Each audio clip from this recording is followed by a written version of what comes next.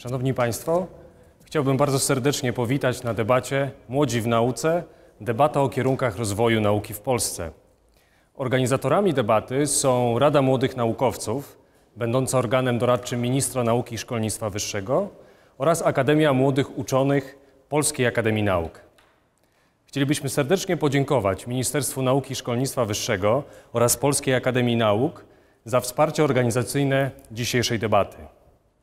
Dziękujemy Państwu za przyjęcie zaproszenia do uczestnictwa w debacie. Jesteśmy przekonani, że czas przeznaczony na dyskusję w dwóch panelach pozwoli na lepsze zrozumienie tego, jaką rolę młodzi naukowcy mogą pełnić w kształtowaniu nauki w Polsce oraz jak mogą wspierać planowane reformy w obszarze nauki i szkolnictwa wyższego. Naszymi partnerami reprezentującymi młodych naukowców są Akademia Młodych Uczonych i Artystów, Krajowa Reprezentacja Doktorantów oraz Rada Samorządu Doktorantów Polskiej Akademii Nauk. Jako organizatorzy chcemy, aby rezultatem dzisiejszej debaty było nie tylko lepsze wzajemne zrozumienie oczekiwań, ale przede wszystkim zależy nam na zniesieniu barier spowalniających pracę młodych naukowców oraz na tworzeniu takiego prawa, które nie tylko będzie regulować, ale również motywować do osiągania doskonałości naukowej. Jako przedstawiciele głosu młodych naukowców opracujemy po dzisiejszej debacie dokument umożliwiający obranie właśnie takiego kierunku. Nie chcemy pozostać jedynie na etapie strategii, lecz chcemy zaproponować konkretne przepisy. Dlatego mamy nadzieję, że dzisiejsze spotkanie będzie dla wszystkich uczestników inspirujące, a nasze propozycje poddadzą Państwo pod konstruktywną krytykę. Przekazuję głos przewodniczącemu Akademii Młodych Uczonych, profesorowi Jakubowi Fichnie, który będzie moderował pierwszy panel. Kubo? Szanowni Państwo, również bardzo serdecznie witam na dzisiejszej debacie. Przypadła mi rola omówienia kwestii technicznych, więc jeśli mógłbym prosić o uwagę, w jaki sposób dzisiejsza debata będzie przebiegała. Każdy z paneli będzie trwał półtorej godziny zegarowej. E, każdy z paneli będzie składał się z tak zwanego wystąpienia otwarcia, następnie pięciominutowych przemówień i potem trzyminutowych głosów dyskusji. Będziemy mierzyli czas, proszę Państwa, więc bardzo bym prosił, ze względu na to, że chcemy utrzymać dynamiczną debatę, aby odpowiedzi, wypowiedzi e, zawierały się w pięciu czy trzech minutach. Techniczna bardzo sprawa. Bardzo proszę, żeby mikrofony trzymać jak najbliżej ust. One są bardzo tak ustawione, żeby e, zbierać tylko to, co jest najbliżej e, ust. Jeśli chodzi o telefony komórkowe, tak jak prosiłem już wcześniej, bardzo proszę o wyłączenie, tak aby nie było interferencji z mikrofonami. Jednocześnie bardzo bym prosił, żeby nie wyłączać mikrofonów po zabraniu głosu, ponieważ my będziemy już e, za to odpowiedzialni. Proszę Państwa, w takim razie otwieram panel pierwszy, zatytułowany Kariera naukowa. Jakie mamy słowa kluczowe? Możecie je Państwo znaleźć w tych bukletach, które są na Państwa biurkach. Zróżnicowanie modeli kariery w zależności od uprawianej dziedziny nauki, ścieżka kariery wynalazcy i wdrożeniowca, rola doktoratu w rozwoju kariery naukowej, postulat mobilności jako warunek efektywnego rozwoju naukowego oraz forma habilitacji za i przeciw. Proszę Państwa, wystąpienie otwarcia, pan prezes Polskiej Akademii Nauk, profesor Jerzy Duszyński. Dziękuję bardzo, panie Jakubie. Proszę Państwa, ja e, chciałbym powiedzieć kilka słów na temat kariery naukowej. E, widzę na sali tak wielu doskonale e, zorientowanych w tym temacie koleżanek i kolegów, że będę się zwracał do osób, które są właśnie rozpoczynających karierę naukową. Muszę powiedzieć, że w moim pokoleniu słowo kariera naukowa dojrzewała y, poprzez kilka faz znaczeń. Na początku było to coś pejoratywnego, to znaczy uważano, że w nauce robienie kariery naukowej jest troszkę nieeleganckie. Potem to się zmieniało i w tej chwili nie ma najmniejszej wątpliwości, że to, to, to, to, to jest też y, aktywność, w której można robić karierę i ta kariera nie jest niczym złym. jeżeli przebiega w sposób prawidłowy. I nad tym chciałbym się skupić. Otóż wydaje mi się, że w karierze naukowej to, co jest najważniejsze, to jest osiągnięcie pewnej doskonałości, doskonałego wyniku, doskonałego osiągnięcia. To jest absolutna podstawa kariery naukowej. Jeżeli tego nie będzie, to, to, to, to, to nie będzie prawidłowej kariery naukowej, tylko będzie coś, co, co przypomina właśnie ten motyw z mojej młodości, coś, co nie jest prawidłowe. Y, my wszyscy działamy y, w pewnym środowisku. Nauka w tej chwili jest y, robiona coraz to bardziej zespołowo. I chciałbym powiedzieć, że jako badacze w Polsce mamy środowisko troszkę nieuprzywilejowane. Jeżeli można poprosić o pierwsze przeźrocze, chcę zwrócić uwagę, że zmagamy się z podobnymi y, kłopotami jak y, y, naukowcy z krajów tak zwanej nowej Unii Europejskiej. Ta nowa Unia Europejska to 20%, jeśli chodzi o populację Unii Europejskiej. Jeśli chodzi o budżet, czyli GDP, to 8%. Natomiast jeśli chodzi o pierwszy taki wskaźnik osiągnięcia pewnej doskonałości, tu mówię o grantach Europejskiej Rady Nauki, to tylko 2%. Czyli widzimy, że, że, że im bardziej w stronę kompetycji, im bardziej w stronę takich prawdziwych, rozpoznanych osiągnięć, tym bardziej jesteśmy niedoreprezentowani. Y, niedawno miałem rozmowę z prezesem y, Towarzystwa Maxa Plancka, profesorem Martinem Stratmanem. I on powiedział, że jeśli chodzi o y, Towarzystwo Maxa Plancka to są dwa czynniki, które ograniczają jego rozwój. Jeden to jest budżet, o tym nie będziemy mówili, a drugi to jest pula talentów, z których korzysta ta instytucja. Im większa jest ta pula, im większe jest umiędzynarodowienie, im większe jest sięganie do coraz to innych y, krajów, w których pracują naukowcy w Max Plancku, tym mocniejsze.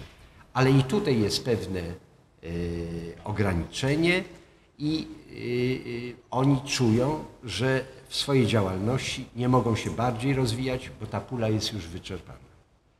W naszym kraju pulę mamy dużą, prawda? Jesteśmy licznym krajem, ale poprzez brak mobilności, poprzez brak umiędzynarodowienia prawdziwego, y, tu jest, ja uważam, jeden z większych ograniczników do robienia kariery naukowej, dlatego że e, tego typu ogranicznik sprawia, że e, nasze instytucje naukowe nie mają tak wielkiego prestiżu, jakbyśmy chcieli. E, kilka dni temu, chyba trzy dni temu, ogłoszono znowu ranking Times Higher Education.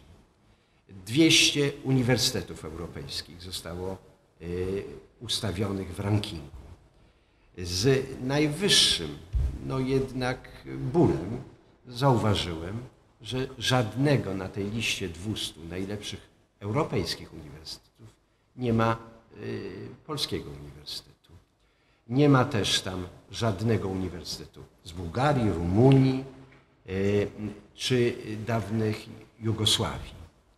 Y, pozostałe kraje, takie kraje jak Szwecja, Holandia, Niemcy, Francja, y, rodzą sobie bardzo dobrze. Oczywiście nie mówiąc o Wielkiej Brytanii. Y, to też jest pewien ogranicznik w karierze naukowej, bo ta kariera naukowa to jest pewne budowanie życiorysu naukowego A w tym życiorysie naukowym nie bez znaczenia jest to, gdzie się kształcimy. W momencie, w którym nie mamy tak dobrych i y, rozpoznanych instytucji naukowych, to te nasze kariery naukowe są po prostu słabsze niż kariery naukowe ludzi z Holandii, Niemiec, Szwecji, Finlandii itd. Y, Co ciekawe, w tym rankingu również kraje południa sobie słabo radzą. Y, Ze zdziwieniem zobaczyłem, że Hiszpania, Portugalia, która wydawała mi się ostatnio osiągnęła wielki awans, tu sobie wyraźnie, wyraźnie nie radzi. Teraz, y, y, dla kariery naukowej dobra instytucja, w której rozpoczynamy kształcenie, y, y, instytucja, która może legitymować się wielkimi osiągnięciami właśnie ludzi, którzy zdobywają granty IRC, ale oczywiście publikacje. Proszę spojrzeć, jak wygląda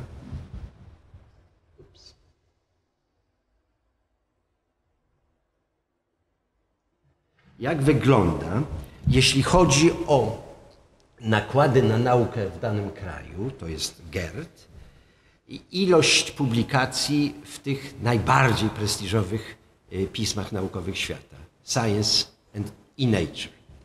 Jest to właściwie liniowa korelacja, liniowa korelacja, w której im większe są nakłady, tym więcej tych prac. Oczywiście są pewne odstępstwa. Wszyscy widzimy, że Wielka Brytania tutaj wyraźnie odskakuje i są ku temu y, powody. Ale proszę spojrzeć, że w momencie, w którym. y, przepraszam. Jakieś kłopoty. O. W momencie, w którym widzimy te kraje ze mniejszymi budżetami, Polska publikuje, badacze z Polski publikują całkowicie proporcjonalnie do nakładów i tutaj nie możemy się ani wstydzić, ani chlubić odstępstwa. Y, Jeśli chodzi o granty Europejskiej Rady Nauki, mamy wyraźny problem. Jesteśmy, proszę Państwa, według naszych y, nawet y, parametrów budżetu bardzo słabo i muszę powiedzieć, że y, instytucją, która się wybija bardzo chlubnie, to jest Uniwersytet Warszawski, który ma prawie że połowę, jeżeli nie nawet połowę grantów Europejskiej Rady Nauki z Polski, realizowanych w Polsce. To, to wspaniałe osiągnięcie. Y, y, Potem jest y, Polska Akademia Nauk, y, potem jest Uniwersytet Gdański i potem niestety już nic. Y, y, To jest coś niezwykle niepokojącego, że tak prestiżowe instytucje jak na przykład Uniwersytet Jagielloński czy Uniwersytet Adama Mickiewicza nie mają tutaj osiągnięć. Jednym słowem chciałem powiedzieć, że w karierze naukowej budowanie życiorysu, budowanie osiągnięć jest dla mnie absolutnie podstawą. Trzeba rozpocząć w dobrej y, grupie, w dobrej instytucji. Trzeba pracować na niewielką, ale doniosłą y, y, liczbę osiągnięć naukowych.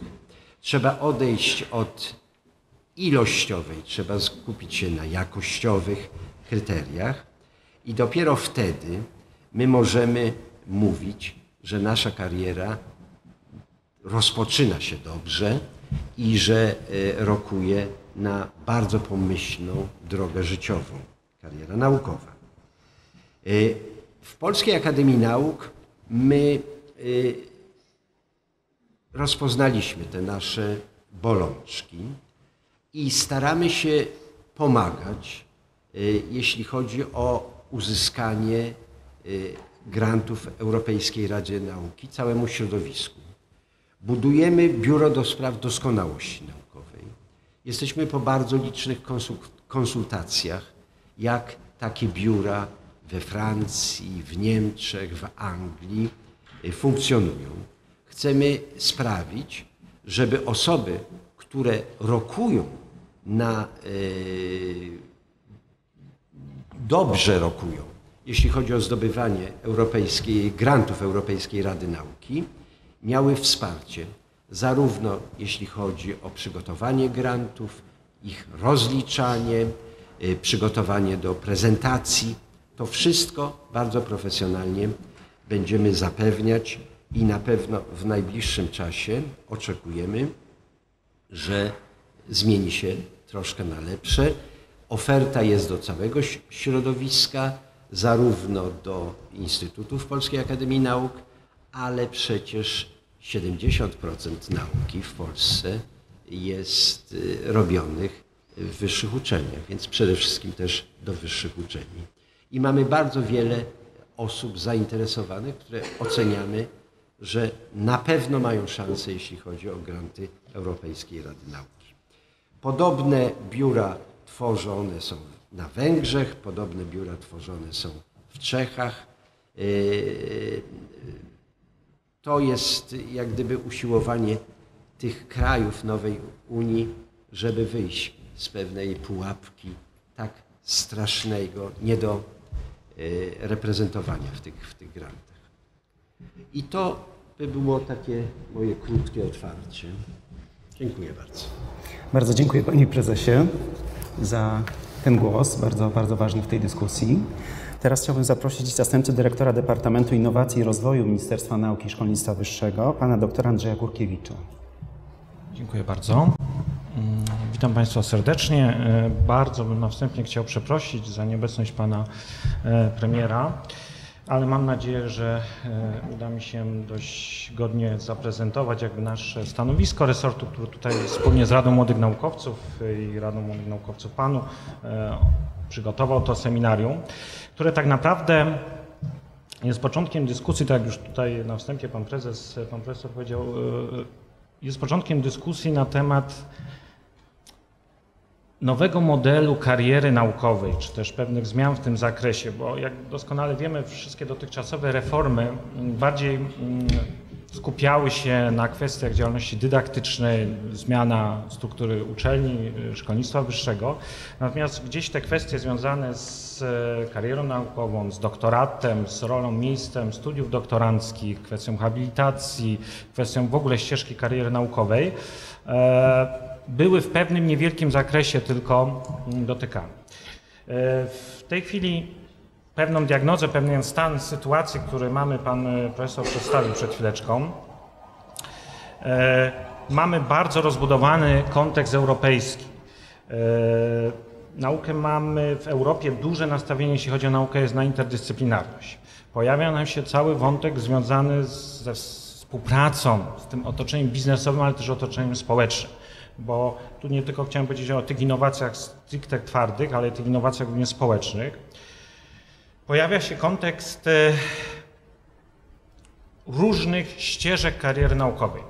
Tej tradycyjnej, tej, o której teraz coraz więcej mówimy i, i, i myślę, że w przyszłych rozwiązaniach e, instytucjonalnych, jeśli chodzi o system szkolnictwa wyższego i nauki, znajdą swoje miejsce, czyli kwestia tak zwanych doktoratów wdrożeniowych, doktoratów przemysłowych, doktoratów zawodowych, czy tej całej ścieżki e, mm, kariery naukowej. Też kwestia badań naukowych o charakterze interdyscyplinarnym. E, Doskonale wiemy, że po pierwsze mamy tutaj takie dość błahe bardzo często problemy związane z pewnym e, lukami w przepisach prawa, które mam nadzieję, że można jakby w pierwszym w pierwszej fazie mm, rozwiązać pewnymi zmianami w przepisach, pewnym deregulowaniem przepisów, czy też uporządkowaniem pewnych rzeczy, które stawiają dużą barierę na przykład w upowszechnieniu interdyscyplinarności. Natomiast długofalowo mm, bardzo ważną kwestią jest jakby nakreślenie pewnych dróg kariery naukowej, w szczególności dla tych osób, które w tej chwili zaczynają tą karierę, czyli to miejsce, w którym jesteśmy i właśnie rola młodych naukowców e, jest tutaj dość ważna, tak? bo te zmiany czy te rozwiązania, o których tutaj tak naprawdę podczas tego seminarium zapoczątkujemy, zapoczątkowujemy pewną dyskusję, która pewno w, w pewnym momencie zakończy się e, pewnymi rozwiązaniami prawnymi związanymi e, czy rozwiązany, rozwiązaniami o charakterze systemowym, e, jest ważna. I tutaj można wydzielić i oczywiście tą tradycyjną ścieżkę związaną przede wszystkim e, z kwestiami e, nauk podstawowych, ale mamy też właśnie ścieżki związane z większym, z większą współpracą z otoczeniem gospodarczym i społecznym. I tu pojawia się coś, co już e, w Europie mm, jest dość rozpowszechnione. Polsce różnie, w różnych publikacjach i różnie w literaturze opisywane jako doktoraty przemysłowe, wdrożeniowe, zawodowe. W ogóle ta ścieżka taka kariery, która jest e, mieszana, czyli troszeczkę jest związana z, bi- e, z biznesem, otoczeniem gospodarczym, jest związana e, z uczelnią, czy z instytutem badawczym, czy, czy z innymi instytucjami, które e, funkcjonują w obszarze szkolnictwa wyższego i nauki. Kwestia kolejna, współpraca z całym otoczeniem międzynarodowym. Tu oczywiście wiemy doskonale, że y, często są pewne bariery w naszych wewnętrznych przepisach, są też bariery oczywiście finansowe i nie zawsze polskie instytucje naukowe są równo traktowane, czy w tych konsorcjach badawczych, czy mamy bardzo często dużą trudność byciem liderem w tych konsorcjach, a to tak naprawdę jest kluczowe, jeśli chodzi na przykład o, o, o środki, które zdobywane są w różnych programach Horyzontu 2020 i yy, i to też napędza później możliwość tej internacjonalizacji naszego systemu nauki. I tu oczywiście i, i środki finansowe, ale też zmiany pewne systemowe, czasem, jak powiedziałem, bardzo błahe, wynikające z pewnego może przeregulowania w niektórych elementach przepisów. Tutaj kłania się kwestia ustawy o stopniach i tytule naukowym, ale też innych przepisów związanych w ogóle z prowadzeniem badań naukowych, z prowadzeniem prac badawczo-rozwojowych. I tutaj chciałbym wskazać e, na pewne działania, które w resorcie zostały zainicjonowane, w resorcie, też w rządzie. E, Mamy Radę do Spraw Innowacyjności. Jak wiemy doskonale, w tej chwili też powstała taka mała ustawa e, innowacyjna, która pewne rzeczy porządkuje, te, które można bardzo szybkim tempie mm, doprowadzić do tego, żeby pewne bariery zostały zlikwidowane. E, Jak wiemy, jeśli chodzi o szkolnictwo wyższe, został rozpisany konkurs e, dla środowiska mm, e, akademickiego na pewną wizję założenia systemowe systemu szkolnictwa wyższego. Rozpoczyna się też dyskusja dotycząca modelu kariery naukowej i kwestia właśnie pokazania tych nowych ścieżek. Oprócz tego też za tym idą e, działania w świetle mm, środków europejskich. Wiemy, ta perspektywa, którą w tej chwili zaczęliśmy, jest tak naprawdę e, jedną z, tak naprawdę jedną z ostatnich perspektyw z tak dużą e, liczbą środków, które mogą być przeznaczone na realizację projektów, czy w sferze B plus R, czy projektów w szkolnictwie wyższym i tych projektów związanych ściśle z dydaktyką, związanych z internacjonalizacją.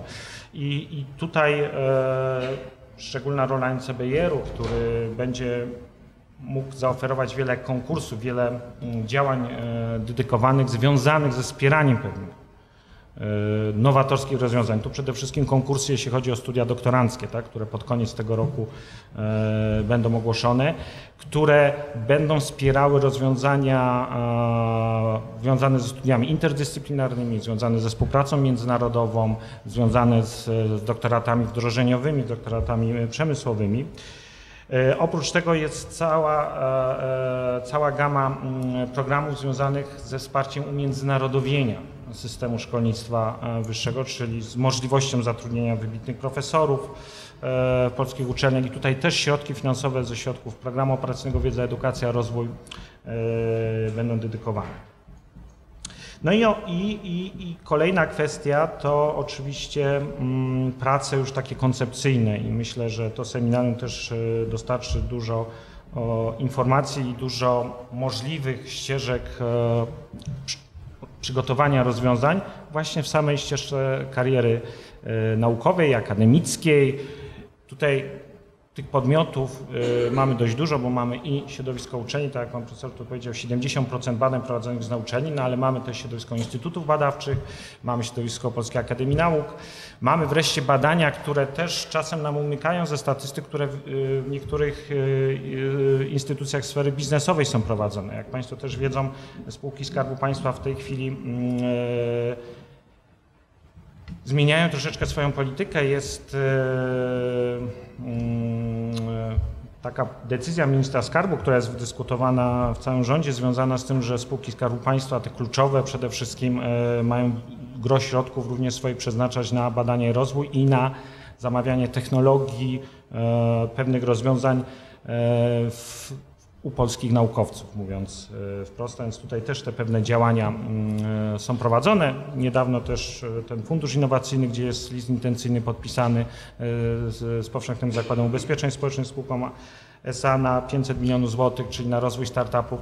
I to są takie działania, które w tej chwili się rozpoczynają, ale oczywiście one nie przyniosą skutku bez pewnych już długofalowych rozwiązań systemowych. I podsumowując jakby tytułem wstępu, bardzo dziękuję Państwu za, za udział i liczę, że będę mógł e, przekazać dużo e, dobrych pomysłów, dobrych rozwiązań e, dla kierownictwa resortu. Dziękuję bardzo. Dziękuję panie dyrektorze. Bardzo dziękuję za oba wystąpienia otwarcia. Proszę państwa, otwieram dyskusję panelową. Chciałbym teraz zaprosić do wygłoszenia prezentacji takich pięciominutowych, będziemy mieć dwie, zastępca przewodniczącego Centralnej Komisji do, Stra- do Spraw Stopni i Tytułów, pan profesor Tomasz Borecki. Bardzo serdecznie zapraszam. Proszę o zabranie głosu. Jest mikrofon. Jest mikrofon. Jest, jest mikrofon. Proszę państwa, pięć minut, bardzo serdecznie. Bardzo uprzejmie dziękuję za zaproszenie. Ja nie mam prezentacji, którą będę przedstawiał w postaci slajdów, ale powiem tym, czym żyliśmy ostatnio, czym żyjemy i jak upatrujemy rolę Centralnej Komisji do spraw stopni tytułów w tym wszystkim, co dzieje w przemianach dotyczących szkolnictwa wyższego. Zacząłbym od tego, że mieliśmy okres, ten ostatni okres, te 4 lata, był związany z tym, co się nazywa ciągłą nowelizacją ustaw, ustawy o stopniach i tytułach. Chcę Państwu powiedzieć, że od 2003 roku w ciągu 13 lat było 7 nowelizacji. Za tymi nowelizacjami żeśmy bardzo trudno nadążali. Te nowelizacje miały różny charakter, bardzo często taki, który powodował spiętrzanie prac jeżeli chodzi o Centralną Komisję, to ta nowelizacja z 2011 roku spowodowała, że liczba wniosków, jaka się zjawiła w Centralnej Komisji odnośnie e, tytułu profesora była przerażająca. Myśmy to już wszystko przerobili, ale to było rzeczywiście, były to okresy, kiedy według nowej procedury, która została wyznaczona, nikt się tak naprawdę nie zgłaszał, a żeśmy musieli kończyć to wszystko tych wszystkich kolegów czy Państwa, którzy e, chcieli ustrzec się tego, co wnosiła nowelizacja i te, i te, i te ograniczenia dotyczące zarówno udziału w badaniach za granicą, jak również e, posiadanie doktorantów. Niektórzy nie mogli na tym nadążyć. To wskazuje na to, że, wskazuje to na to, że no, ustawa musi być naprawdę bardzo w środowisku przedyskutowana i ona musi być bardzo realna, żebyśmy mogli w sposób właściwy e, to wszystko, co robimy, robić. E, Przeprowadziliśmy ankietę wśród naszych członków, wśród 300 członków Centralnej Komisji na dzień dzisiejszy z licznymi pytaniami, jak ma wyglądać nowelizacja i co wypatrują i co widzą tej rzeczywistości, jaka jest dzisiaj za rzecz ważna. Właściwie 100% kolegów odpowiedziało, że istnienie Centralnej Komisji jest koniecznością i nadzór nad tym wszystkim, co się dzieje w nauce jest rzeczą nadzwyczaj ważną. Ta kontrola państwa nad nadawaniem stopni i tytułów naszej rzeczywistości jest nadzwyczaj potrzebna.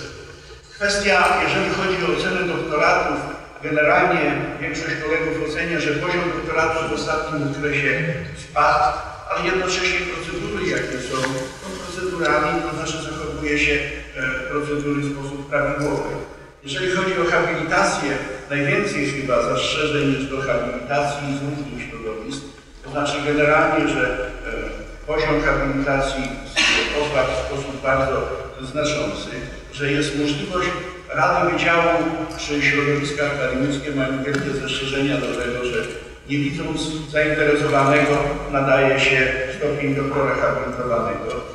I ja powiem Państwu, jak już żeśmy kroki poczynili. W każdym razie do tych kwestii jest naprawdę najwięcej zastrzeżeń.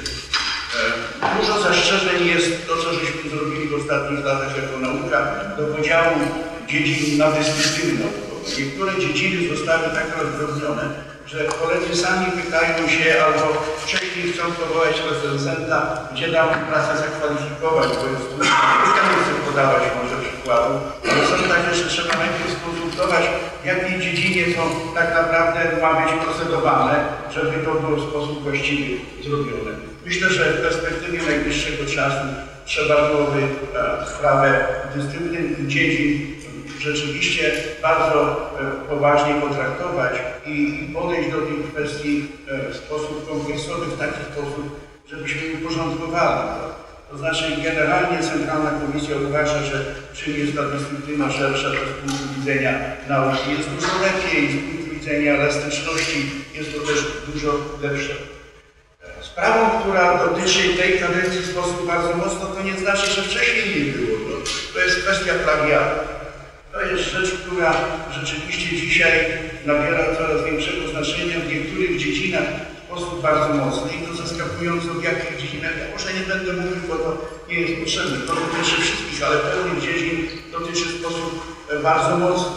I z tymi plagiatami, może z tą niedoskonałością tego wszystkiego, co się dzieje, jeżeli chodzi o stopnie i tytuły, jest tak zwana a, a, emigracja naukowa na Słowację.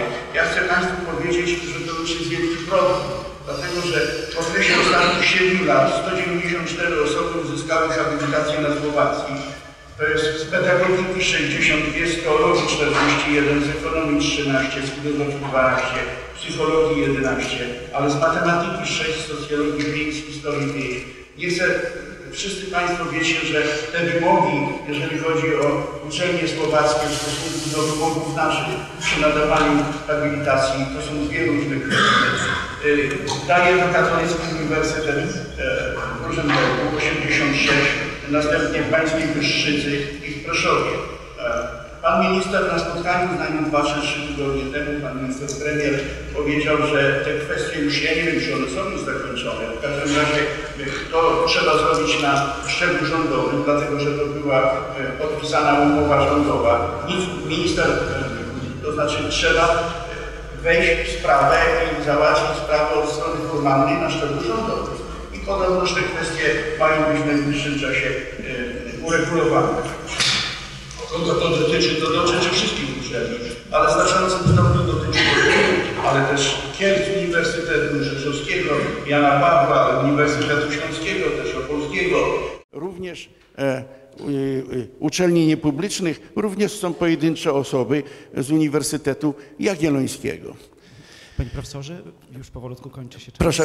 Proszę o podsumowanie, powolutku kończy Już, już będę kończył. E, e, Centralna Komisja uważa, że powinna być organem wyższego stopnia we wszystkich procedurach, jakie są toczone. I może ja jeszcze bym słów parę powiedział o tym, co żeśmy e, ostatnio z panem premierem ustalali, a mianowicie kwestia dotycząca habilitacji, że e, wiadomą rzeczą jest, że habilitację trzeba utrzymać i dzisiaj w polskiej nauce ona jest koniecznością, że powinniśmy e, to, co dzisiaj jest tej habilitacji udoskonalić w takim kierunku, żeby była większa przejrzystość i udział rad wydziału, żeby był e, inny, żeby w tych kwestiach spornych, kiedy mamy głosowanie 3 do 4 czy 4 do 3, Centralna Komisja zajmowała się sprawą. Centralna Komisja na dzień dzisiejszy, chcę Państwu powiedzieć, nawet w sprawach dotyczących e, e, e, uchybień prawnych całkowitych nie ma możliwości zareagowania w myśl tej ustawy, jaka jest. W tej słynnej sprawie wrocławskiej nie mogliśmy nic zrobić i dziękuję bardzo, bo wiem, że za, Tak, zabieram dziękuję czas. bardzo. Dziękuję. Na pewno, będzie, na pewno będzie jeszcze okazja, żeby zabrać głos. Bardzo, bardzo dziękuję panie profesorze. E, Teraz chciałbym prosić o zabranie głosu pana wiceprze- wiceprzewodniczącego Rady Młodych Naukowców, doktora Łukasza Michalczyka. Pięć minut, bardzo proszę. Dziękuję bardzo. Szanowni Państwo, mam przyjemność przedstawić Państwu stanowisko Rady Młodych Naukowców w sprawie habilitacji. Jesteśmy zdania, że jedynym stopniem naukowym, jaki powinien obowiązywać w naszym kraju, powinien być stopień doktora. Zarówno stopień doktora habilitowanego, jak i tytuł profesora zwyczajnego powinny zostać docelowo zniesione. Jednakże mamy świadomość zdajemy sobie sprawę z tego, że obecnie takie zmiany są niemożliwe bez diametralnej reformy obecnego systemu i kultury zatrudniania oraz bez rzetelnej oceny okresowej pracowników, która niestety na wielu uczelniach i wielu jednostkach jest fikcją. W związku z tym RMN uważa, iż na chwilę obecną habilitacja powinna zostać utrzymana, jako że stanowi, a przynajmniej powinna stanowić, Sito, przez które przedostają się tylko ambitni i naukowo samodzielni badacze, którzy udowodnili, że potrafią robić dobrą naukę. Ostatnia reforma sprawiła, że procedura habilitacji stała się bardziej transparentna, co jest zdecydowanie krokiem w dobrą stronę. Jednakże inną znaczącą zmianą było wprowadzenie obowiązku habilitacji w ciągu 8 lat od zatrudnienia na stanowisku adiunkta. Intencja ustawodawcy była tutaj słuszna. Odsiać pracowników, którzy w ciągu 8 lat nie byli w stanie wykazać się samodzielnością naukową, a z drugiej strony umożliwić młodym naukowcom w miarę szybki awans naukowy. Jednakże zdaniem RMN obowiązek habilitacji przyczynił się do obniżenia jej wartości, prestiżu, a być może także i poziomu. Obecnie, gdy od przyznania stopnia doktora habilitowanego zależy m.in. utrzymanie zatrudnienia przez habilitanta, zarówno komisje habilitacyjne, jak i rady jednostek naukowych mają świadomość, że od ich decyzji zależy znacznie więcej niż tylko awans naukowy, co może się przyczyniać do zbyt łagodnych decyzji w niektórych przypadkach. Dlatego w naszej opinii obowiązek habilitacji powinien zostać zniesiony. Wiadomo przecież, że stopień doktora habilitowanego nie powinien być warunkiem utrzymania pracownika naukowego, a decyzja o tym, kto jest zatrudniony, a kto nie, powinna leżeć wyłącznie w gestii kierownictwa danej jednostki naukowej. Stopień doktora habilitowanego, jak wiemy, daje znaczące uprawnienia. Przede wszystkim możliwość promowania doktorantów, a także umożliwia współdecydowanie o jednostce naukowej, w której pracownik jest zatrudniony. Otrzymanie stopnia doktora habilitowanego powinno wiązać się jednak ze znacznym wzrostem pensji e, minimalnej stawki wynagrodzenia podstawowego, co powinno być dodatkową zachętą do podążania tą ścieżką e, kariery naukowej. Kolejnym środkiem, który mógłby przyczynić się do podniesienia jakości prestiżu habilitacji w naszym kraju, byłoby ograniczenie jednostek, które mają uprawnienia do nadawania stopnia do jednostek z kategoriami A i A, czyli charakteryzującymi się najwyższym poziomem naukowym w naszym kraju. Problemem jest także nieuregulowana kwestia, na kim spoczywa odpowiedzialność za opłacenie kosztów postępowania habilitacyjnego. Zazwyczaj postępowania opłacane są z budżetu jednostki naukowej, z której pochodzi habilitant. Sprawia to jednak, iż niewielki odsetek habilitantów decyduje się na wskazanie innej niż swoja jednostki na przeprowadzenie postępowania. Rozwiązanie mogło być tutaj na przykład centralne finansowanie poprzez Ministerstwo Nauki i Szkolnictwa Wyższego, które przekazywało pieniądze Centralnej Komisji do Spraw Stopni i Tytułów Naukowych, która by zarządzała tymi środkami. Takie rozwiązanie nie tylko odciążyłoby jednostki, które przeprowadzają wiele postępowań, odciążyło finansowo, ale przede wszystkim zachęciłoby habilitantów do wybierania niemacierzystych jednostek na przeprowadzanie swoich postępowań. Zdaniem Rady Młodych Naukowców korzystne byłoby także, aby stopień doktora habilitowanego nadawany był w dziedzinie, a nie jak do tej pory w dyscyplinie naukowej. Tak wysoki stopień szczegółowości i rozdrobnienia jest zbędny, w żaden sposób nie jest projakościowy, prowadzi do nadmiernego formalizmu oraz nie sprzyja badaniom interdyscyplinarnym. Jednocześnie w związku z tym pojawiają się problemy związane z ciągle powstającymi nowymi dyscyplinami, o czym już pan profesor wspomniał.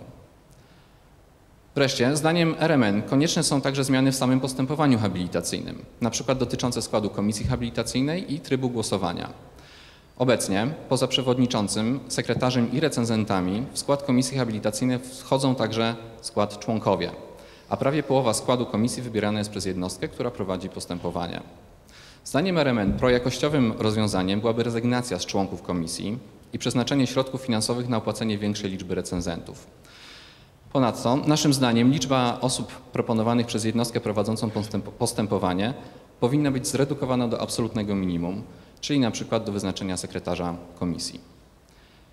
Rada Młodych Naukowców uważa także, iż habilitant powinien mieć możliwość zgłoszenia konfliktu interesów pomiędzy nim a potencjalnymi recenzentami oraz możliwość pisemnego ustosunkowania się do recenzji. Odpowiedź na recenzję powinna być brana pod uwagę zarówno przez komisję, jak i jednostkę naukową, która prowadzi postępowania. Mamy nadzieję, że zaproponowane przez nas zmiany zostaną uwzględnione w aktach prawnych i mamy nadzieję, że wpłyną one pozytywnie na poziom i jakość habilitacji w naszym kraju. Dziękuję serdecznie za uwagę. Bardzo dziękuję. Bardzo dziękuję jednocześnie za trzymanie się czasu. Proszę Państwa, teraz bardzo proszę o troszkę krótsze odpowiedzi, wypowiedzi, trzyminutowe. Jednocześnie bardzo proszę o przedstawianie się dla celów nagrania. E, bardzo proszę. E, pan prezes, bardzo proszę. Edward Nęcka. Mam zaszczyt reprezentować Polską Akademię Nauk, ale mówię we własnym imieniu. E, chciałem jedno słowo dodać do tych argumentów przeciwko habilitacji. Ja zgadzam się całkowicie, że, że powinna ona być zniesiona z naszego systemu. E, Ale chciałem dodać jeden argument, którego do tej pory nie usłyszałem, a który wydaje mi się istotny.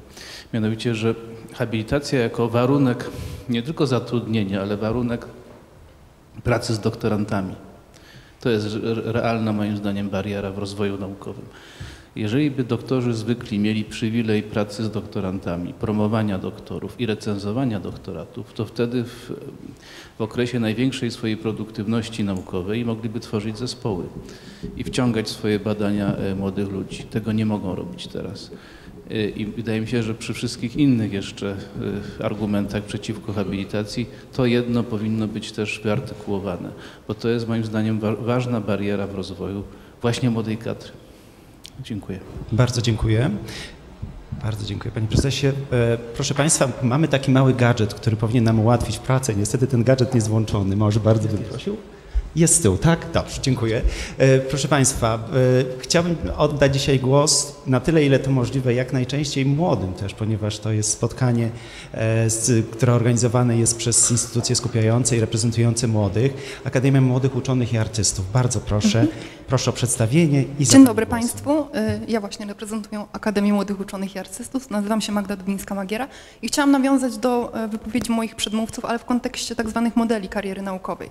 W tej chwili sytuacja, e, jaką mamy zagwarantowaną dzięki ustawie, wygląda następująco, że na uczelniach publicznych istnieje możliwość zatrudniania tak zwanych nauczycieli akademickich na trzech typach etatów. Są to etaty naukowe, etaty dydaktyczne i etaty naukowo-dydaktyczne. W praktyce jednak dominuje ten e, trzeci model, czyli model naukowo-dydaktyczny, nazywany czasami pejoratywnie model dwa w. Dlatego, że on jest pozornie ekonomiczny, ponieważ zapewnia nam pracownika, który obsłuży nam w dużym stopniu dydaktykę, za którą uczelnie jak najbardziej są odpowiedzialne, a także przeprowadzi badania naukowe, z których tego pracownika później e, w sposób skrupulatny, bardziej lub mniej rozliczymy i to najczęściej w krótkich stosunkowo okresach w przypadku niektórych dziedzin naukowych, czyli w okresach dwuletnich. Dlatego e, uważamy, że ten model nie jest doskonały, gdyż generuje szereg patologii. O co chodzi? Otóż w okresie swojej największej produktywności w Polsce młodzi uczeni poświęcają zdecydowanie więcej czasu na dydaktykę kosztem właśnie badań naukowych, gdzie ten czas mógłby być świetnie skonsumowany na pracę badawcze i na rozwijanie i kształtowanie swojej przyszłej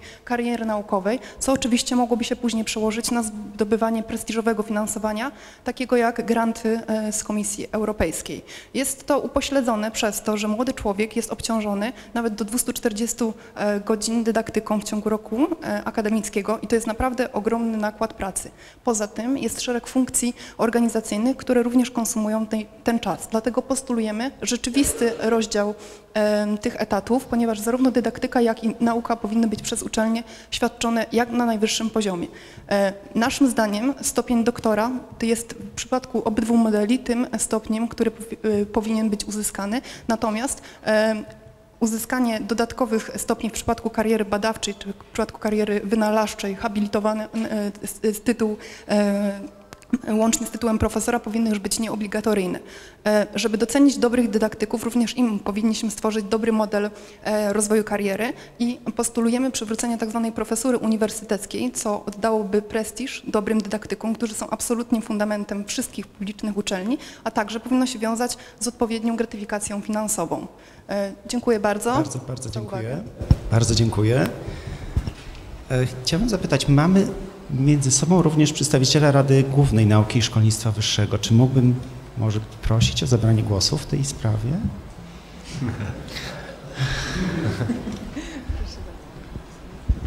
Proszę bardzo, ale na tym etapie ograniczę się do poinformowania, co Rada Główna czyni.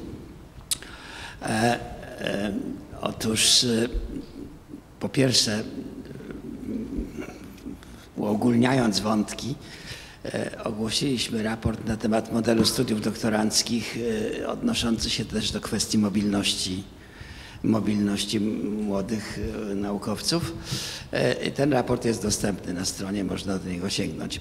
Po drugie, e, uważamy, że bardzo ważne badanie przeprowadził zespół profesora Kwieka. Jest to badanie międzynarodowe na temat kondycji e, kadr naukowych, e, porównawczo w szeregu krajach, ze szczególnym uwzględnieniem jednak wniosków dla Polski i odniesień do do tych badań, które dotyczyło polskiej, y, polskiej kadry naukowej. I w maju będzie debata y, publiczna y, po przedstawieniu referatu przez profesora Kwieka na zgromadzeniu plenarnym Rady Głównej Nauki i Szkolnictwa Wyższego z udziałem gości, a w drugiej części referat po po prezentacji wyników raportu przez profesora Kwieka zabierze głos e, profesor Tajduś jako przewodniczący Centralnej Komisji i można powiedzieć od diagnozy do prognozy przebiegniemy przez cały ten problem. E, jednocześnie e, chciałbym, że tak powiem, opowiedzieć się za tym, żeby nie zaczynać rozważania świata od Adama i Ewy za każdym razem i co kadencję parlamentu. Chcę Państwu powiedzieć, że obchodzimy w tym roku dziesięciolecie debaty o sprawach, o których tu mówimy. W 2006 roku KRASP ogłosił wydaną przez Fundację Rektorów Polskich pracę zbiorową pod redakcją Franciszka Ziejki, która uogólniając głosy na konferencji w Uniwersytecie Jagiellońskim z udziałem bardzo wielu i młodych i starych e, naukowców zaprezentowała ogromny przegląd problemów. Dwukrotnie były dokumenty wspólne KRASP i Polskiej Akademii Nauk. E, e, były odpowiednie uchwały i działania e, Rady Głównej Nauki i Szkolnictwa Wyższego w, w tych sprawach. Strategia rozwoju szkolnictwa wyższego w trzech odmianach, która odnosiła się do modelu karier. W modelu Ernsta Younga, w modelu środowiskowym i w modelu Forum Ekspertów, które uogólniało te dwa dokumenty. E, są inne różne dokumenty, w tym dorobek e, takich konferencji rocznych Krajowej Reprezentacji Doktorantów. Są doktoraty na temat modelu i ścieżek kariery naukowej, debaty na temat profesjonalizacji potencjalnie lub nie.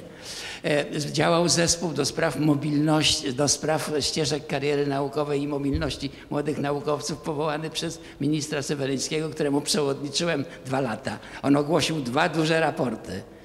Więc e, krótko mówiąc, doradzam przewodniczącemu Rady Młodych Naukowców, jeśli będziecie Państwo opracowywać jakieś wnioski, to sięgnijcie do piśmiennictwa, a nie tylko do tego, co tutaj w taki sposób trzyminutowy usłyszycie, bo z tego, co tu usłyszycie, nie powstanie dokument, który w moim przekonaniu, jak się nie odwoła do, y, y, do tego, co jest dorobkiem naszego piśmiennictwa. E, e, to, co e, Rada Główna będzie jeszcze chciała zrobić i o co zabiegała pani minister Lena Kolarska-Bobińska, to odniesienie się do tych dokumentów europejskich, a więc tej karty, e, e, europejskiej karty naukowca i, i kodeksu mm, za kodeksu rekrutacji pracowników, Europejski Kodeks Rekrutacji Pracowników Naukowych. W tej sprawie, jak się spodziewam, po debacie majowej odniesiemy się do tego na jednym z kolejnych posiedzeń Rady Głównej, ponieważ to jest kwestia niezałatwiona w Polsce i jest pytanie, co, co, co z tym zrobić. Więc myślę, że Rada Główna stworzy taką przestrzeń do tego, żeby odbyć debatę w tej sprawie. E, no i tą zachętą do tego, żeby jednak nie wymyślać e, koła od nowa, tylko sięgnąć do dorobku wcześniejszych debat. Zachęcam Państwa do tego. E, Rada Główna też współpracuje bardzo silnie z Centralną Komisją. Raz w roku mamy debatę wspólną na temat tych spraw. Niedługo będzie przedmiotem tej debaty, w ciągu może miesiąca, kwestia zmian w ustawie o stopniach i tytułach. Dziękuję bardzo. Bardzo, bardzo dziękuję kilkakrotnie zostali, że tak powiem, wezwani doktoranci. Nie wiem, czy, czy przedstawiciele doktorantów, bardzo, bardzo proszę. Ja jednocześnie bardzo bym prosił jeszcze raz o włączenie tej naszej aplikacji. Ona bardzo pomaga w strukturze naszej dyskusji. Bardzo proszę, proszę o przedstawienie się trzy minuty. Dzień dobry Państwu. Michał Gajda, przewodniczący Krajowej Reprezentacji Doktorantów. E, I w nawiązaniu do tytułu panelu, czyli kariery naukowej, e, my zdecydowanie uważamy, że doktorat to jest pierwszy etap kariery naukowej. Więc niezależnie od tego, od dyskusji na temat różnych modeli dojścia do doktoratu, e, stoimy twardo na stanowisku, że to ma być doktorat naukowy. Mogą być różne akcenty, różne e, obciążenia, różne sposoby dojścia, natomiast e, mówiąc nawet o tym doktoracie zawodowym, e, rozumiemy to jako cudzysłowiu po prostu metodę dojścia do e, stopnia naukowego e, doktoratu i, i tu musi być zachowane. Jeżeli chodzi o studia doktoranckie, na pewno to, co nas boli, to jest rekrutacja. Już to jest pierwszy, pierwsze sito, które powinniśmy e, wprowadzić, zaostrzyć i prowadzić do elitarności studiów doktoranckich, e, bo 43 tysiące przekroczone to jest zdecydowanie za wielu, mm, wielu doktorantów, e, żeby można było im potem realnie dobrze przeprowadzić i dać warunki do realizacji doktoratów. I tutaj mówimy o rek- rekrutacji takiej, które jednostki mają możliwość potem dobrego poprowadzenia doktorantów, bo to się przekłada na niską efektywność, którą mamy obecnie, e, czyli ta żadna rekrutacja. W wielu przypadkach jest to jest małe wsparcie e, jednostki badawczej dla badań naukowych. E, Często w okresie tych czterech lat, które teoretycznie 3-4 lata przeważnie to jest e, okres studiów doktoranckich, e, trzy lata może zajmować zdobycie środków i zbudowanie jednostki, to czy ym, te- stanowiska badawczego, a jeszcze mamy czas na, gdzie jest czas na badania, na napisanie rozprawy, zamknięcie. Więc tutaj z pewnością należy się pochylić nad kwestią dawania takiego wsparcia już na samym początku i określenia drogi e, do doktoratu, gdzie doktorant rzeczywiście zajmie się e, nauką, bo tak jak wszędzie, gdzie mówimy, jest dużo rzeczy około naukowych e, i też nie działanie na ilość, tylko na jakość, bo, bo już od doktoratu uczymy doktorantów w, chwili, w obecnym systemie ilości publikacji, a nie ich jakości. Dziękuję. Bardzo dziękuję. Pojawiła się, pojawiła się kwestia rekrutacji na studia, ale nie tylko. E, Bardzo proszę panie rektorze, bardzo proszę o zabranie głosu. Proszę Państwa, chciałbym zwrócić uwagę na y, jeden aspekt, który trochę pomijamy. Mianowicie taki, że mm, ścieżka kariery zakłada w sobie, że następują zmiany. Z każdym krokiem, z każdym osiągnięciem można pójść naprzód, można um- mieć większe możliwości, można zrobić coś następnego.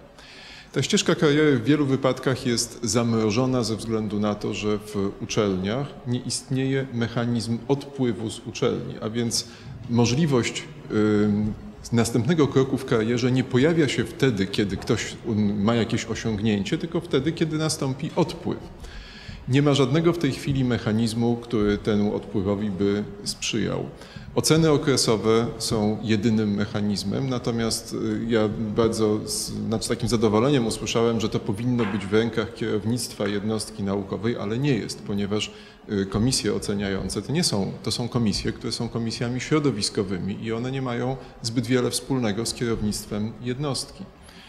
W związku z tym mamy sytuację, w której jedyne możliwości szybszej kariery to są takie, że albo pojawiają się nowe struktury wewnątrz uczelni, wewnątrz instytutów i akurat to widać bardzo dobrze przy pojawianiu się nowych centrów badawczych czy tych inwestycjach z pieniędzy europejskich, gdzie bardzo dużo nowych osób się pojawia z nowymi pomysłami. Albo ze względu na brak odpływu z uczelni, wyjazd za granicę, czy pojawienie się tej możliwości w innej uczelni zagranicznej. Gdybyśmy postarali się znaleźć równowagę między stabilnością i mobilnością, to to byłoby jakieś wyjście. My w tej chwili tego nie mamy. Stworzyliśmy system, w którym istnieje tylko jedna ścieżka kariery, która wszyscy dążą do tego, żeby być ustabilizowani, i wówczas pojawiają się wszystkie patologie. W większości krajów e, świata, jeżeli ktoś jest źle oceniany na swoim uniwersytecie albo swojej uczelni, a uważa, że ma osiągnięcia, no to znajduje miejsce na innym, który bardzo chętnie kogoś takiego weźmie. U nas ten mechanizm w praktyce nie działa. A ocena w mniejszym stopniu dotyczy oceny merytorycznej osiągnięć, a w większym stopniu formalnej oceny. To są właśnie te mechanizmy, że po ośmiu latach, jeżeli się nie zrobi habilitacji, to wtedy można kogoś zwolnić. Przecież to nie ma nic wspólnego z, rzeczywistymi osiągnięciami, tylko z formalną oceną. Jest habilitacja, nie ma habilitacji. Dziękuję. Dziękuję bardzo. Tutaj mam e, głos od pana profesora Węgleńskiego. Bardzo, bardzo proszę o zabranie głosu. Ja jestem członkiem Komisji Etyki w Nauce i z, patrząc z perspektywy prac tej komisji widzę dwie rzeczy. Jedno, że plagiat nie jest największą bolączką naszą w Polsce, tylko grzecznościowe recenzje. Tu nawiązuję do tego, co profesor Pałys powiedział przed chwilą, że te komisje oceniające, które powinny zapewnić usuwanie słabszych, a, a otwieranie i otwieranie miejsc pracy dla nowych ludzi, dla młodszych, właśnie nie działają, bo w komisji sprawy, które my mamy, to głównie są skargi na negatywne recenzje. Jest bardzo niewielu naukowców w Polsce, którzy odważają się napisać negatywną recenzję doktorantowi, habilitantowi czy, czy, czy profe, profesorowi. Także wydaje mi się, że tu jest, tu trzeba bardzo poważnie pomyśleć o tym, jak stworzyć, to jest cholernie trudne, jak stworzyć warunki, żeby ludzie pisali faktyczne recenzje, a nie grzecznościowe. Stąd też, y, y, a drugą rzecz, y, którą chciałbym tutaj bardzo uwypuklić, brak mobilności naszej kadry. Nie może być mobilności, bo jak młody człowiek z Krakowa ma się przenieść do Warszawy i kupić tu mieszkanie czy wynająć? Prawda?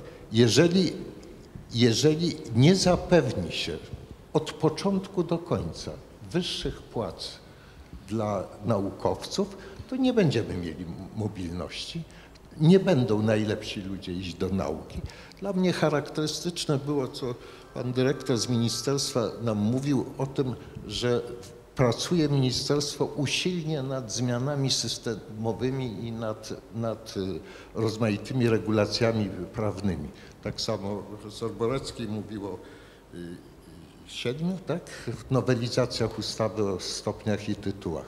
Prawda?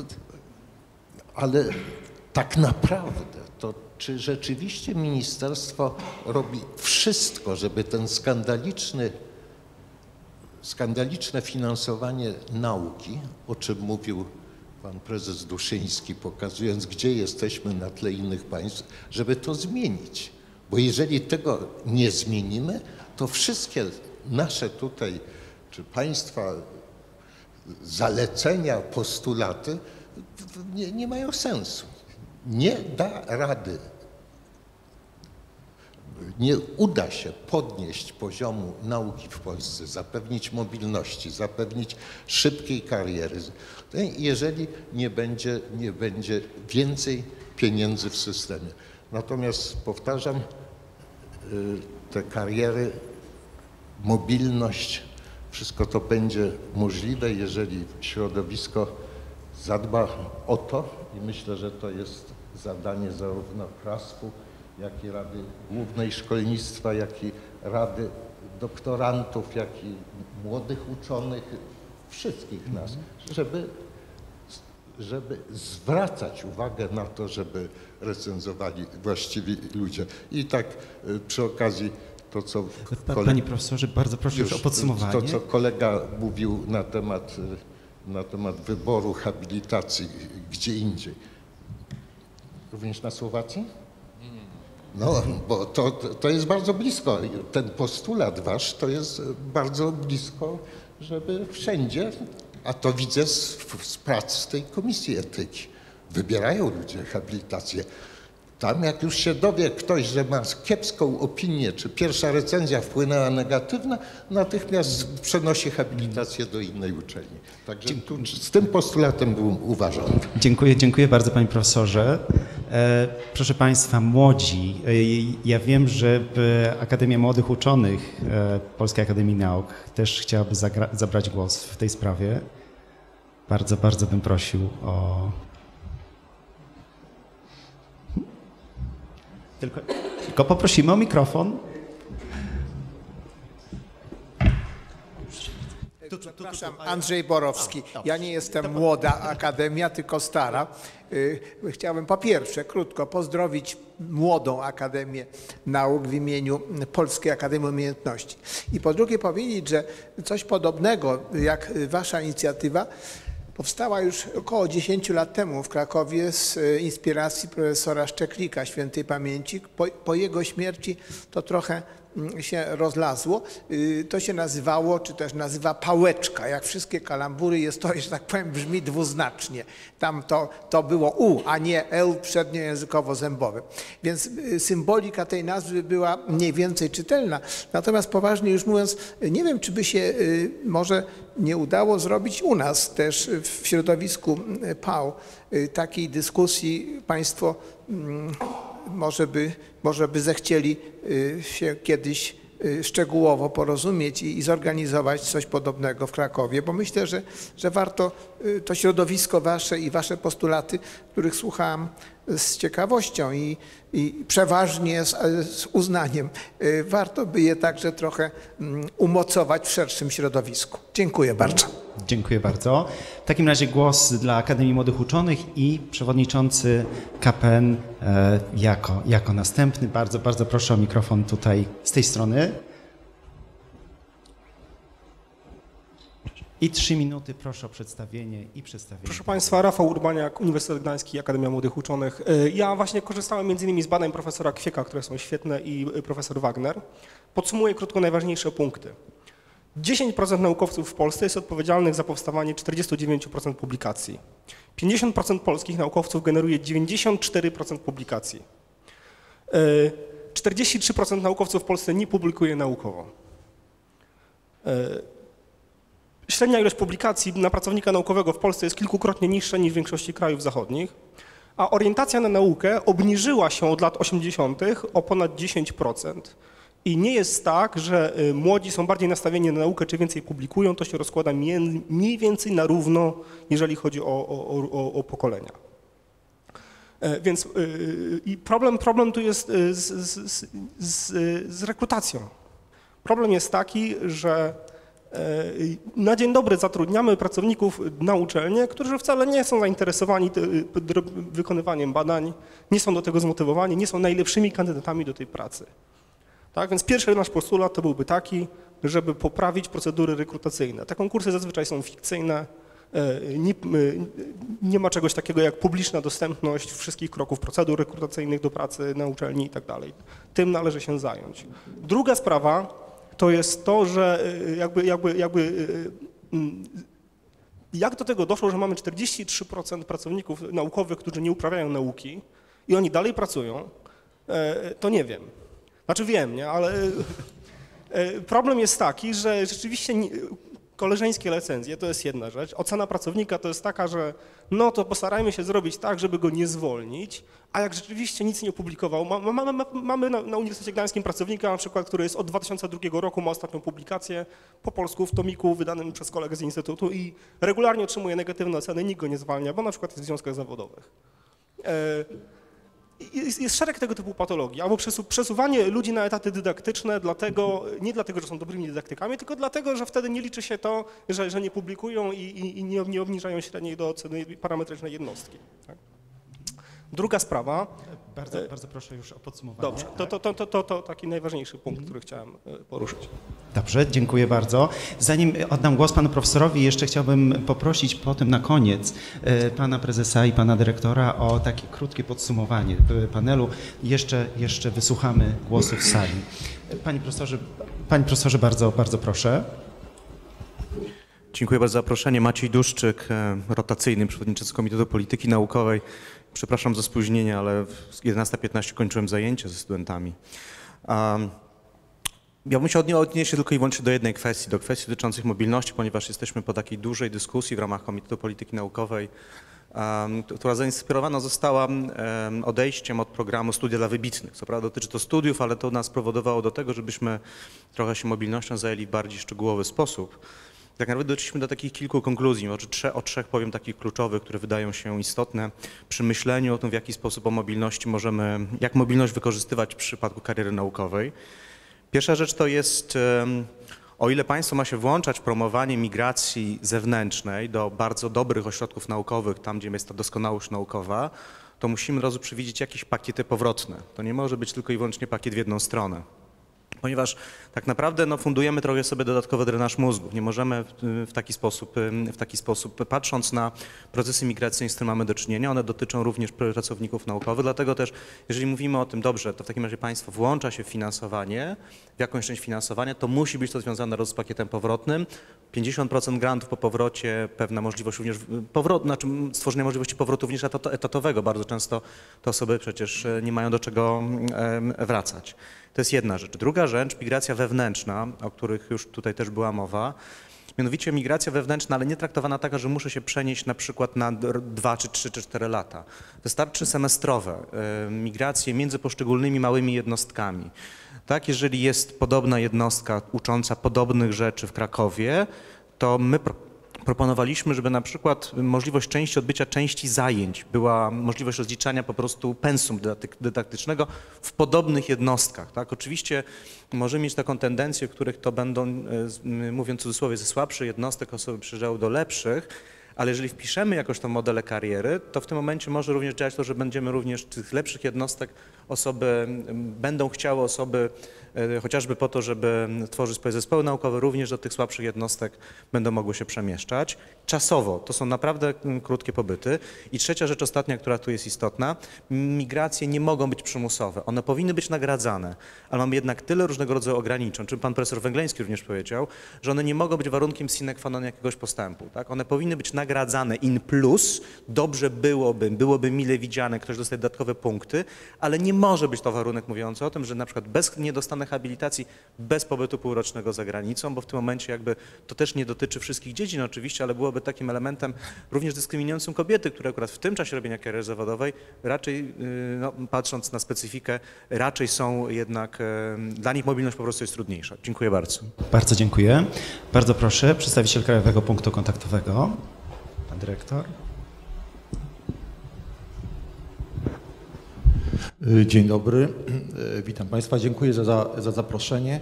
Ja reprezentuję Krajowy Punkt Kontaktowy do programu nowego Horyzont 2020. Jesteśmy ulokowani w Instytucie Polskiej Akademii Nauk. Od wielu lat wspieram uczestnictwo polskich podmiotów właśnie w programach ramowych, razem zresztą z siecią KPK, który nasze regionalne punkty kontaktowe są na najlepszych uczelniach polskich ulokowane. Proszę Państwa, chciałbym podkreślić tutaj kwestię tego wymiaru międzynarodowego w kontekście, w kontekście modelowania naszej kariery naukowej. Przede wszystkim, przede wszystkim to, że na program Horyzont 2020 i na projekty, które tam realizujemy, nie, należy, nie, nie powinniśmy patrzeć tylko pod kątem, że otrzymujemy tam jakieś finansowanie. Tak? To jest ważne i indywidualnie dla zespołów, i dla instytucji. Tam normalnie rozwija się naszą karierę naukową poprzez to, że możemy publikować w najlepszym towarzystwie, tak, są to publikacje międzynarodowe, poprzez to, że możemy patentować, jesteśmy bardziej rozpoznawalni, naprawdę dotykamy, dotykamy najlepszych tematów i to jest bardzo ważne. I w tym kontekście mamy tutaj pewną barierę, na co nam zwraca Komisja Europejska uwagę, mianowicie brakuje nam naukowców w Polsce, czyli jak popatrzymy sobie na liczbę naukowców na jednego znaczy w ogóle personelu zatrudnionego w, w, obszarze badań, badań i rozwoju na jednego, na jednego mieszkańca, no to jesteśmy znacznie poniżej średniej. Dlatego apel tu w szczególności do tego, żeby rzeczywiście namawiać i motywować młodych naukowców, żeby się włączali, włączali żeby jakby, jakby ten zawód był coraz bardziej u nas popularny, bo to też się może przełożyć na naszą aktywność y, między, międzynarodową. Y, druga bardzo ważna kwestia, jeżeli chodzi o prowadzenie badań w instytucjach, to co dla młodych naukowców naukowców, w ogóle dla naukowców jest istotne, to kwestia odpowiednich, odpowiednich też mądrych inwestycji fachowców, ekspertów, yy, którzy obsługują cały pion zarządzania badaniami. To jest bardzo istotne. Jak popatrzymy sobie na strukturę personelu w Europie, właśnie w obszarze badań innowacji, to nasza struktura wygląda bardzo źle. Tam jest taka kategoria inne osoby i, i, po, poza naukowcami, poza pracownikami, pracownikami naukowo-technicznymi jest też dodatkowy personel. I tam naprawdę jesteśmy na bardzo niskim poziomie, na poziomie nawet chyba poniżej 10% w strukturze. W przeciwieństwie do innych krajów, gdzie się inwestuje właśnie i to też jest zawód, rozpoznawalny w Europie w menadżerów i administratorów badań. Tak?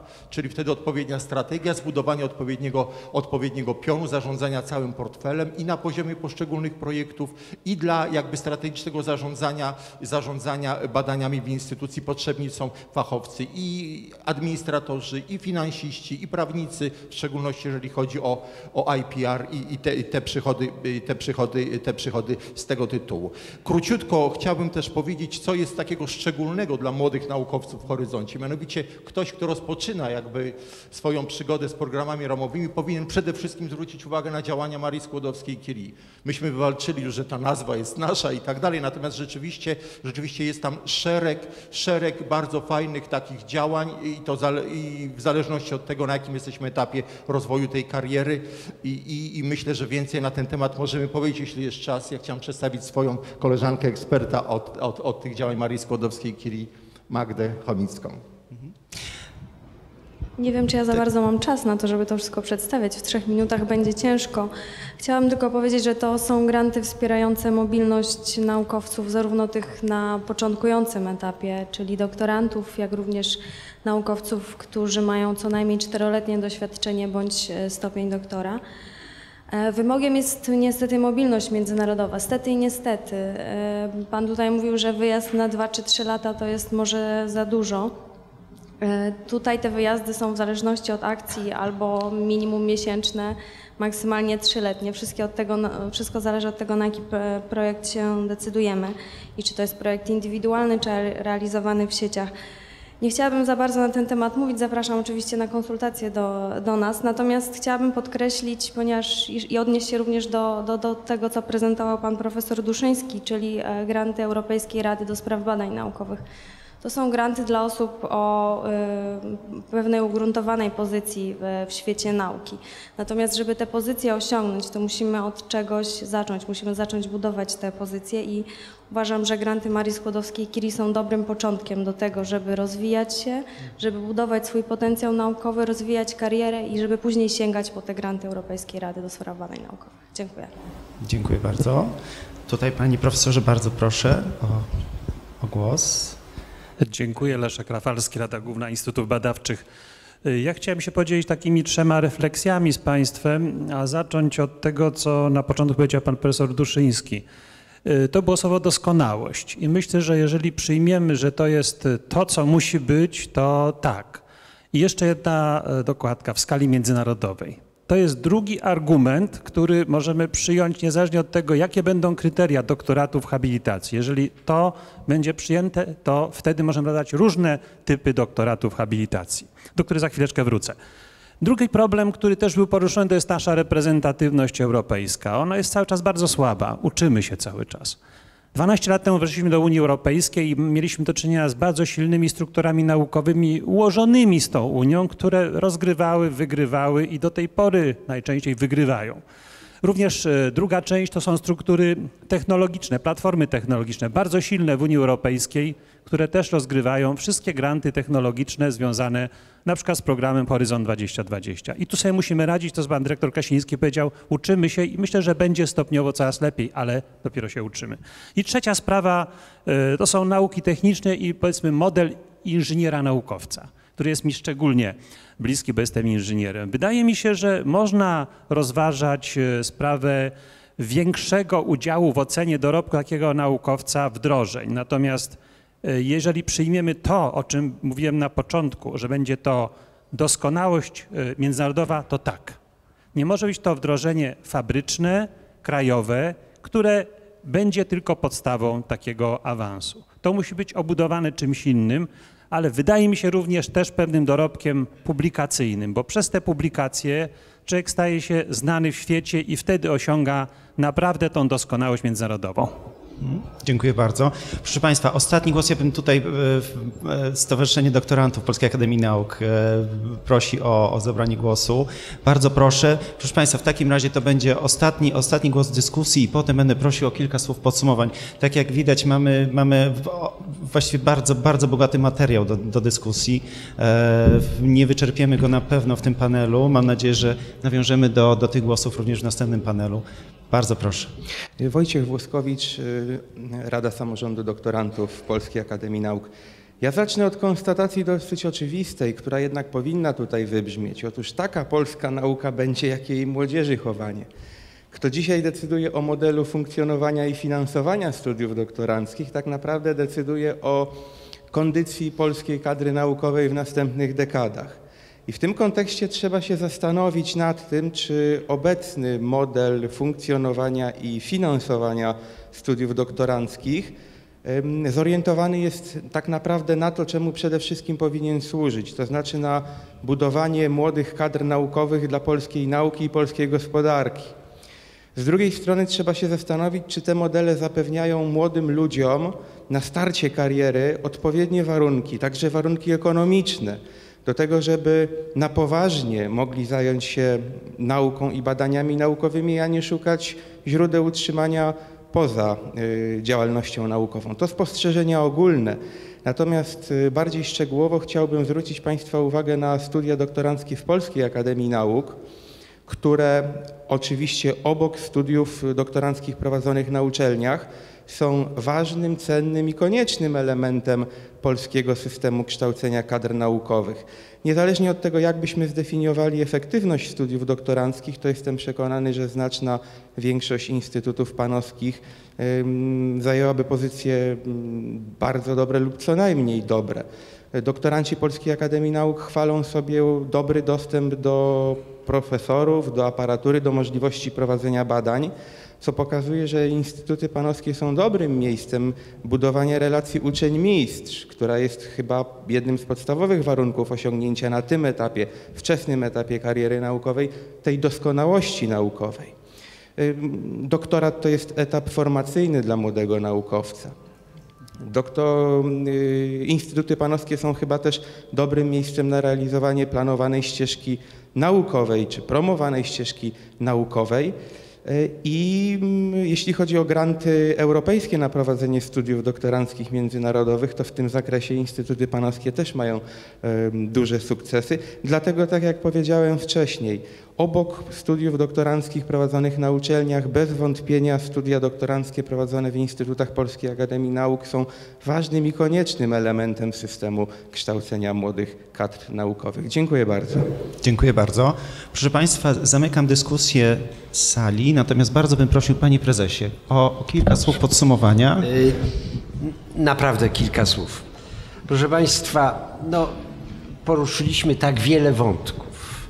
Y, Ja bardzo dziękuję Panu Profesorowi Woźniakowskiemu za y, zwrócenie, Woźnickiemu za zwrócenie uwagi, jak wielki już jest dorobek.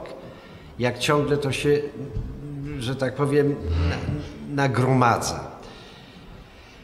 Jedno jest pewne. y, Nie ma jednego rozwiązania, ale musimy zrobić pewien krok. Musimy uzgodnić, że pewne rzeczy są wielkimi osiągnięciami. I te wielkie osiągnięcia powinny być bardzo, bardzo szanowane. I te wielkie osiągnięcia powinny być bezapelacyjnie przepustką do dobrej kariery naukowej. Dobra kariera naukowa to jest poczucie wolności, to jest poczucie wolności budowania zespołu, to jest poczucie y, możliwości zdobywania środków na badania naukowe. I dla mnie jest niezaprzeczalne, że w momencie, w którym nie będziemy szanować takich wybitnych, niestety nielicznych osiągnięć, jak zdobywanie europejskich grantów y, e- Europejskiej Rady Nauki, czy zdobywanie tych dużych grantów NCN-u.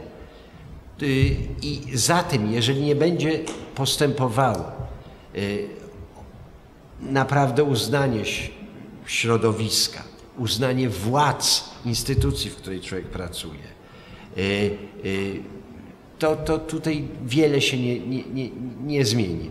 My musimy zrobić pewne pierwsze kroki i ja upatruję właśnie w takich mechanizmach. Jeżeli tego nie, nie, nie, nie, nie zmienimy, niewiele będziemy mogli zmienić. Dziękuję. Bardzo dziękuję Panie Prezesie.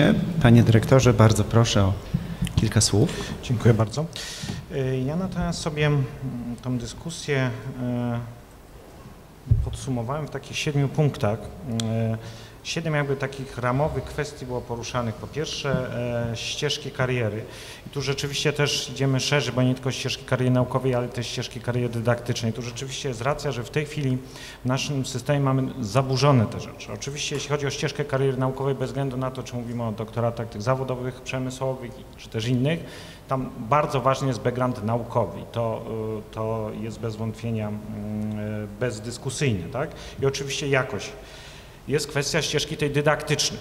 To jest pytanie też i to pole do dyskusji, czy ją nie rozbudować się w oparciu o jakość, ale też pojawia się tu pytanie, które bardzo często nie stawiane, czy można robić dobrą, bardzo dobrą dydaktykę bez backgroundu naukowego.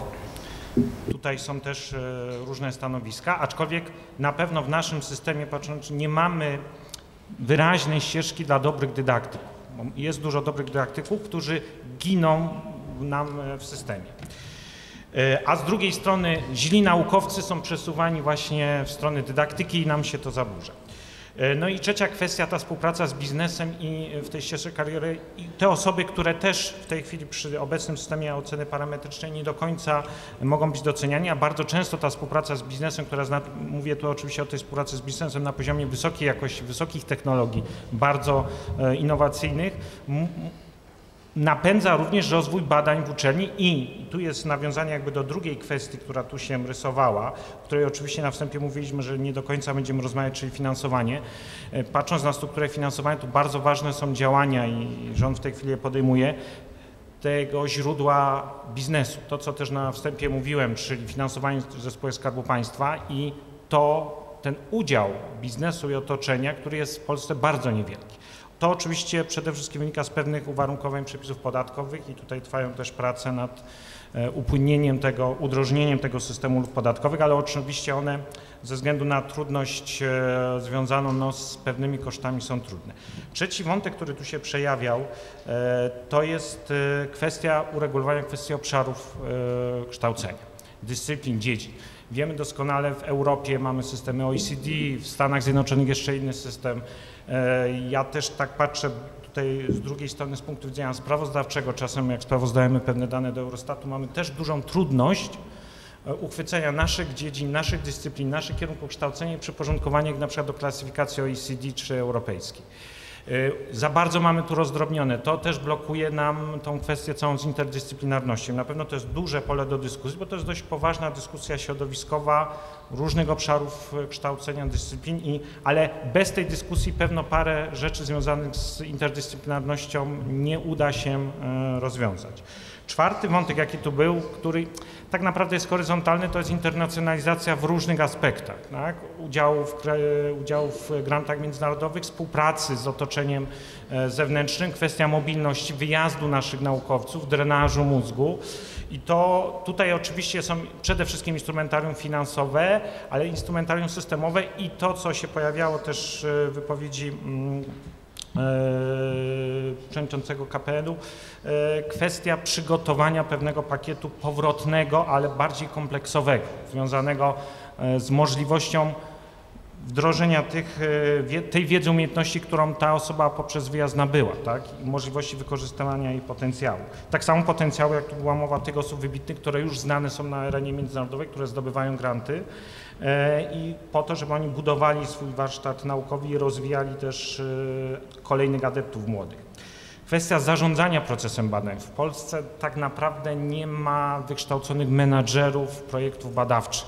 To, co w europejskich e, uczelniach, przecież nie tylko amerykańskich, ale europejskich, gdzie zarządzanie tym całym procesem przyciągania środków, obsługą projektu badawczego nie jest kumulowane na e, pracowniku naukowym, tak jak mamy bardzo często w Polsce, gdzie pracownik zamiast skupiać się na kwestiach badawczych, Oczywiście on jest tu kierownikiem grantu i musi pilnować tych kwestii e, merytorycznych, ale te wszystkie kwestie związane z zapewnieniem e, dostępności materiałów, odczynników, kontakty z administracją uczelnianą, kontakty z donatorem i tak też niestety go w pewien sposób ograniczają.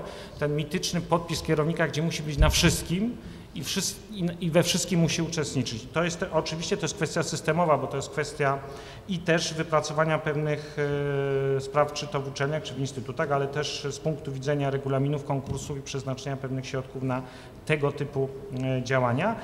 Szósta kwestia, która tutaj była e, przede wszystkim też e, przez pana profesora Węglońskiego e, poruszana, kwestia otoczenia, tak? Bo wszystko możemy zbudować pewien system, który jednak musi mieć background z otoczenia społeczno-ekonomicznego, czyli te pewne uwarunkowania umożliwiające mobilność, umożliwiające rozwój kadry, umożliwiające też e, współpracę z biznesem, z, z administracją samorządową, publiczną, bo wiele badań też jest e, w szczególności naukach humanistycznych, społecznych, bardzo często ma taki wątek aplikacyjny w takich innowacjach społecznych i tutaj też są pewne bariery też y, proceduralne.